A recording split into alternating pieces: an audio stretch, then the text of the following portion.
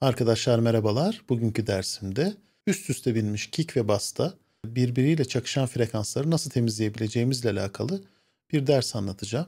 E, oldukça ilginizi çekeceğini düşündüğüm bir ders bu. Çünkü herkesin büyük problemler yaşadığı genelde ve e, temizlemekte zorlandığı bas frekans aralığını nasıl bir şekilde e, biraz dengeye kavuşturabileceğimizle alakalı yöntem göstereceğim. Biliyorsunuz ki kick de bass da e, birbirlerine yakın frekans aralıkları olan enstrümanlar. O yüzden e, özellikle akustik enstrüman grubunda çok fazla gözlenmese ki neden çok fazla gözlenmez? Çünkü akustik enstrümandaki kick ile bas gitarın frekans aralığı aslında birbirine uyumlu seçilir ve bu e, mümkün mertebe aranjede buna göre kaydedilir. O yüzden çok fazla biz e, hani akustik enstrümanlarda bunu duymayız ama akustik enstrümanlarda da bunu duyduğumuz zamanlar olabiliyor tabii ki. Günümüz modern müziğinde özellikle dijital müziklerde, dijital üretimli müziklerde daha yoğun kickler, daha yoğun baslar duyduğumuz için bunların frekanslarının birbiriyle çakışması hoş olmayan bir ses duymamıza neden olabilir. Uygun ayarlarla nasıl galip çıkacağımızı göstermeye çalışacağım. Dilerseniz dersimize geçelim. Evet, keyifli bir drum, canlı drum kaydımız var. Bir bas gitar eşlik ediyor buna. Hatta bir de perküsyon eşlik ediyor öyle söyleyeyim. Yani burada e, yaklaşık 3 tane kick kullanılmış arkadaşlar. Subkick'imiz, subkick de var içerisinde. Bir basımız var ve bir de kongamız var. E, perküsyonumuz var yani. Bunların birbiriyle olan savaşında dengeyi nasıl bulacağımıza bir bakalım isterseniz. Önce parçayı duyalım bence.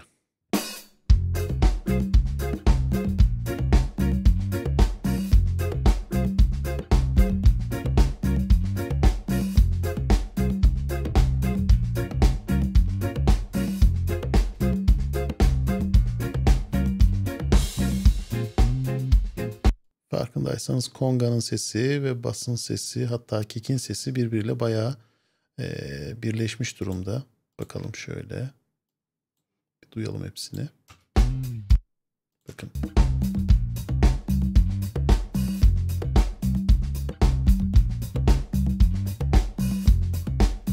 Özenle seçilmiş enstrümanlar aslında akustik olarak bir düzen var. Fakat yine de birbiriyle çakışan frekanslar e, mevcut arkadaşlar.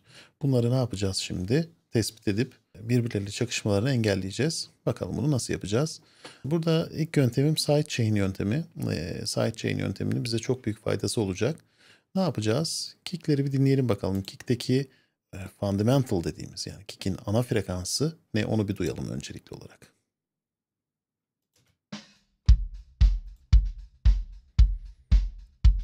Evet bakın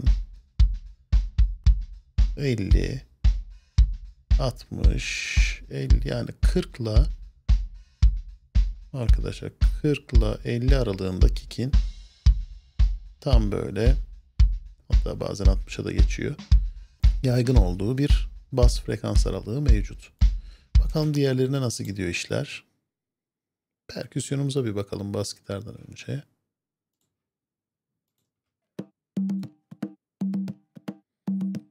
Perküsyonda biraz rahatız. Çünkü bakın yüzlerde, iki yüzlerde özellikle bunda fundamental'ı yani ana frekansı 200 civarında. O yüzden burada birazcık rahatız. Peki bas gitara bakalım. Bas ne yapıyor? Özellikle başlangıçta daha kalın frekanslarımız mevcut. Bakalım. Oo. Bakın 50'ye çok yakın. 40'a arada sırada giriyor. Ama Allah'tan yani dediğim gibi akustik enstrümanlar e, bu noktada birazcık daha şanslılar. Hani dijitaller birbirinin üzerine tam binebiliyor. Bunda öyle bir şey yok. Ama birbirinin e, frekans aralığına girip çıkıyorlar. Şimdi biz şöyle bir şey yapacağız. Diyeceğiz ki burada önemli bir anlayış var. Şimdi ön plana kick'in ortaya çıkmasını istiyorsak eğer kick'i duyurmak istiyorsak benim az sonra yapacağım yöntemi uygulayacağız. Ama önemli olan bassa, bas frekanslarsa bunun daha doğrusu bas gitarsa atıyorum. Burada tam tersini de uygulama şansına sahipsiniz. Ama ben burada kick'in vurduğu e, kısımları ortaya çıkarmak istiyorum mutlaka. Ama bası da duyurmak istiyorum güzel bir şekilde. Daha belirgin, daha e, temiz bir sesle ortaya çıksınlar isteyeceğim. Şimdi burada gördüğünüz gibi bir kick grubumuz var. Bu kick grubu bir sinyal verici olarak kullanabilirim arkadaşlar. Neden? Kick'in total sesini burada duyuyorum zaten. Bası kapatalım.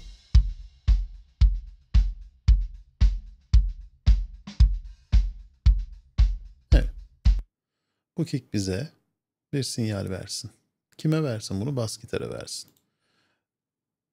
Bas gitara bir dinamik equalizer, bir multiband kullanabiliriz. Ben Fab multiband kompresörünü kullanacağım arkadaşlar bu iş için. Bakın buraya bir Fab multiband kompresör açıyorum basın altına. Diyeceksiniz ki ne alakası var? Şimdi kick'in frekans aralığı olan kısmı yaklaşıp şurayı biraz daraltalım. Evet. Çok geniş müdahale etmeyecek çünkü. Evet. Kick'in frekansları ile kesiştiği yerleri kick neredeydi? 50'lerdeydi, 40'larda, 60'lardaydı değil mi arkadaşlar? Bakın şuradaki sesler. Bu kickle birleştiği zaman e, sesi kirletecek. O yüzden ne yapacağız biz? Kick her vurduğunda biz diyeceğiz ki bu bölgedeki frekansı baskıla, komprese et. Bunu yapabilmek için e, bu plugin'i biraz kullanmayı bilmek gerekiyor. FabFilter'ın Pro MB e, plugin'i arkadaşlar bu. Expert ayarlarını açıyorum. Bakın burada e, normalde kendi içerisinden sinyal alıyor. Biz bunu dış kaynaktan yani external seçeneğini seçiyoruz. Bu çeşitli pluginlerde farklı kullanılabilir ama FabFilter genelde hepiniz kullanıyorsunuz. O yüzden FabFilter üzerinden anlatmak istedim. Hepiniz uygulayabilirsiniz diye düşünüyorum sonrasında. Bakın burada sidechain özelliğimizi aktif ediyoruz ve sidechain sinyalini nereden alsını seçeceğiz şimdi. Ne demiştim? Kick gruptan alacaktı. Evet.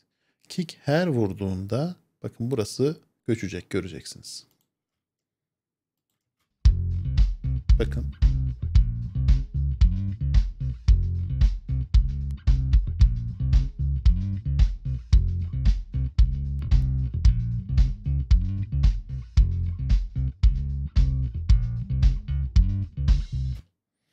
Gördüğünüz gibi çok temiz ses elde etmeye başladık. Birazcık ben range'imi arttıracağım. Bas frekanslarda biraz daha kısabiliriz ama e, pumping etkisi yaratsın istemez istemiyorsak eğer pumping etkisi nedir arkadaşlar? Ki ker vurduğunda seste düşme. Bunu eğer duymak istemiyorsak çok da abartmamamız gerekecek. Onu da unutmayın. Biraz oldu sanki.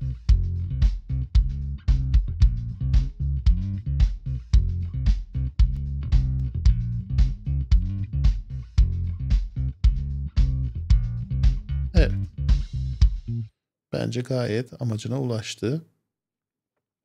Bakalım bir genel geçerde bir dinleyelim nasıl bir ses çıkaracağız.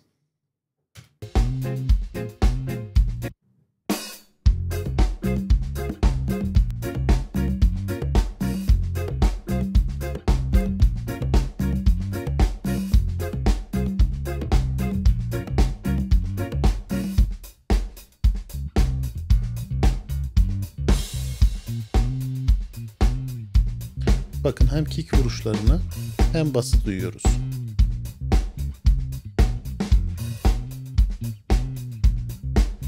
Benzer bir etkileşim yine bas gitarla konga üzerinde var. Benzer mantık yapabiliriz. Konga'nın vuruşlarında yine bas gitarı birazcık baskılayabiliriz. Böylelikle Konga'nın da o e, vuruşları belli olsun. Çünkü bunlar da bas gitarla çakışacaktır. Bakalım çakışıyorlar mı? Dinleyelim isterseniz önce.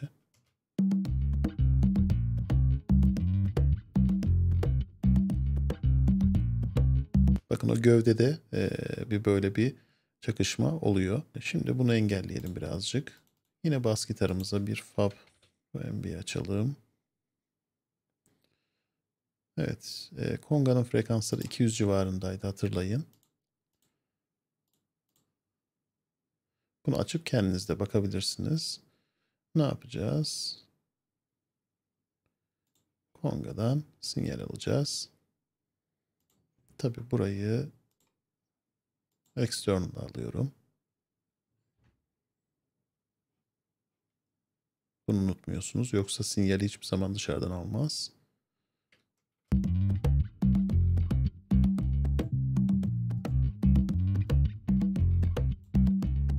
Biraz daraltalım. Bu kadar geniş aralık gerek yok.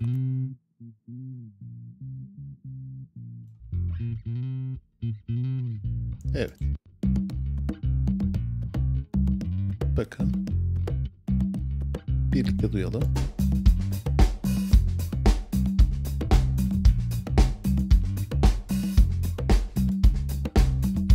Hep bas gitarı baskıladık. Neden böyle yaptık? Çünkü bas gitar daha sustain'li bir enstrüman. Yani ne demek bu? Daha sesleri yaygın ve sürekli verebiliyor.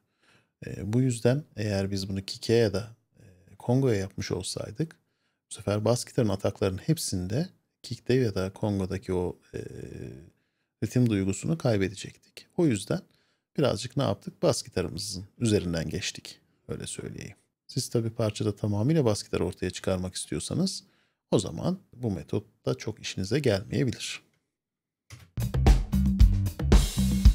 Ne yapabilirim? Birazcık bas gitar açabilirim misal.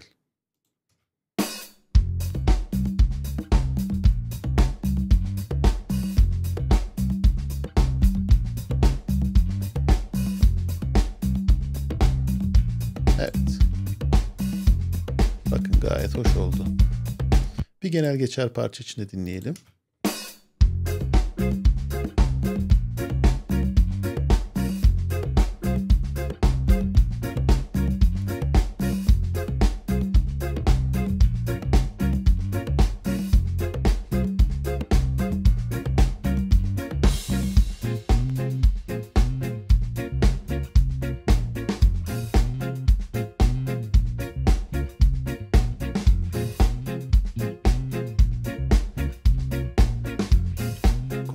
Partisyon geliyor.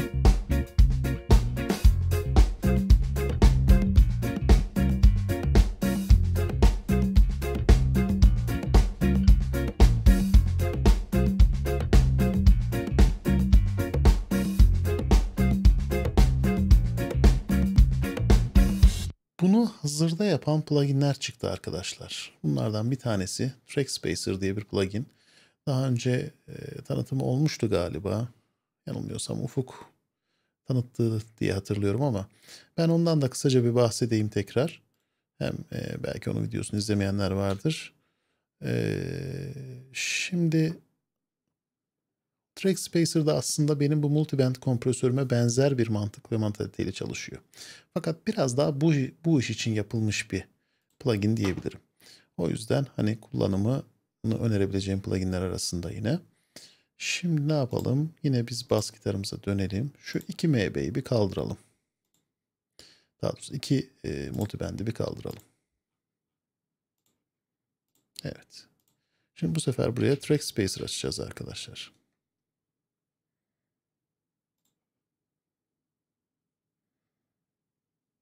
Evet, pluginimiz bu. Waves faktörünün yine bas gitarı ekledik. Bakın dikkat edin. Baskılamak istediğimiz sound hangisi ise ona ekleyeceğiz. Kompres etmek istediğimiz sound diyeyim daha doğrusu ses. Çünkü e, bunda da sustain'i daha uzun olan sesleri tercih etmemizde genel olarak fayda var. Çünkü ani ataklı seslerde kick gibi işte e, perküsyonlar gibi e, bunlarda istediğimiz o atak hissini, o ruhu kaybederiz bu sefer. Dinamizmi kaybederiz daha doğrusu parçadaki. Bu da çok kolay arkadaşlar kullanım. Bakın açtık basın altına. Şimdi sidechain'i aktif ediyoruz. Input'u nereden alsın diyor. Yani kicker vurduğunda track spacer devreye girecek. Mantık az önceki mantığın aynısı. Az önce ben size daha farklı bir pluginle gösterdim. Evet. Şimdi bakalım.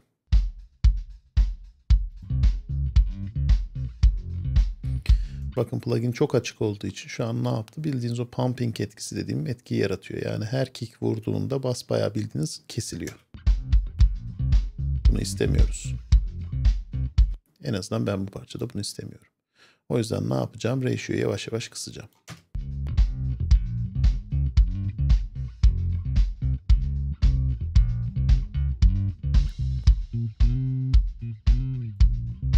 Şimdi bu plugin'in güzel bir yanı var arkadaşlar. Gerçi bunu hani az önce Fab, e, Fab MB'de de yaptık. Hani e, ne yaptık? Aralıkları daralttık. Nereye müdahale etmesi gerekiyorsa oraya müdahale ettirdik. Aslında bunda da benzer bir şey var. Bakın burada high cut ve low cut var. Müdahale etmesini istediğimiz frekansları hatırlayın. Ee, bas gitarda nerede çakışıyordu daha çok kick? Ee, 40-50-60 civarına biz müdahale etmesi, etsin istiyorduk özellikle. Bu aralıklara çekelim şimdi.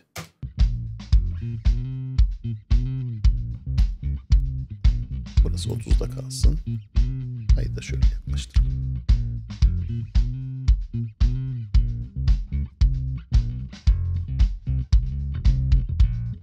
Evet, bakın. Az önceki etkiye yakın bir etkiye yakaladık. Kapatıyorum. Açıyorum. Açtığım zaman kikin atakları çok daha belirgin bir hale aldı arkadaşlar farkındaysanız.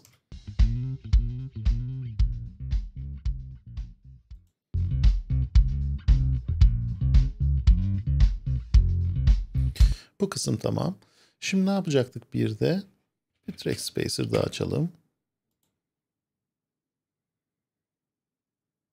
Bir de kongayı ekleyelim. Yine bas gitarı keseceğimiz için, daha doğrusu bas gitarı baskılayacağımız için konga sesini ekledim şimdi. Konga'da da dediğim gibi 200 frekans aralıklarına müdahale etsin istiyorduk. O yüzden biraz daha şöyle 180'lere ve biraz daha bu sefer geniş tutacağım. Slap aralıklarına denk gelsin. Evet şimdi bas gitarla Kongo'yu aktif edelim. Kongo'yu aktif edelim.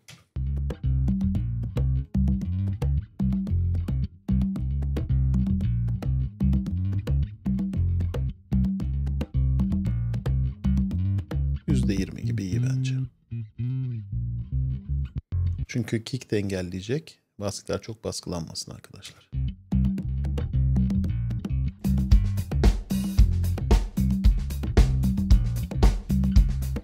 Bakın seslerdeki ayrışmaya dikkat edin.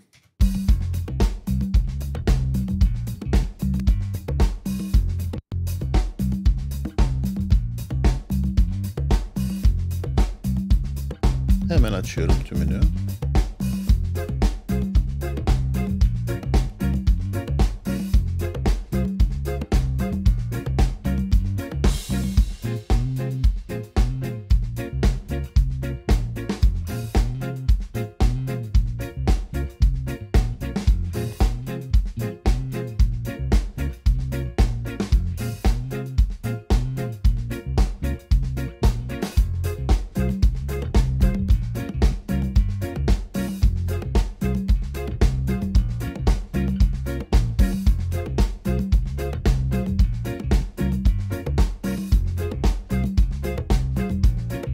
Gördüğünüz gibi e, bas frekanslar arasındaki boğulmayı, yığılmayı nasıl önleyebileceğimizle ilgili size bir teknik anlattım. Dijital olarak oluşturulan müziklerde de e, tamamıyla uygulayabilirsiniz. Mantık çok benziyor. Yapacağınız uygun frekans aralıklarını belirleyip ona göre uygun bir VST ile e, o frekans aralıklarını mümkünse bir dinamik equalizer, bir e, multiband kompresör ya da işte track spacer tarzı bir programla e, o frekans aralıklarını baskılamak. Kick ve bassların kesişen frekanslarını nasıl yok edebileceğimizle alakalı yöntemler göstermeye çalıştım size. Lütfen videomu beğendiyseniz beğen tuşuna basmayı unutmayalım. Kanalıma abone olmayı mutlaka ve mutlaka unutmayın. Bir sonraki dersimde görüşmek üzere. Hoşçakalın.